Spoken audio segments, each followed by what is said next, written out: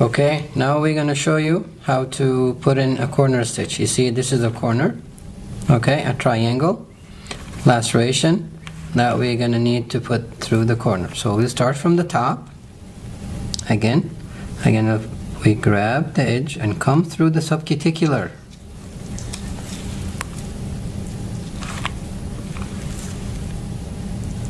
Then grab the corner, but don't go through the tip here. You want to go underneath from subcuticular to subcuticular.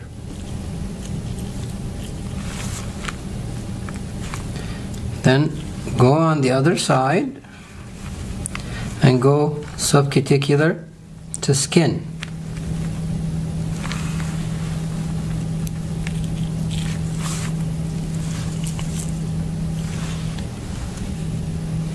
Now we're going to tie the corner.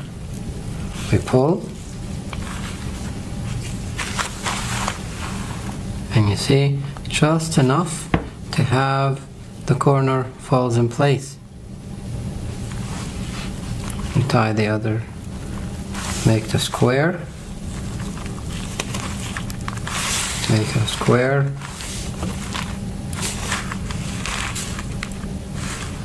Oh, I see every time I have to come down flat and now I have one corner stitch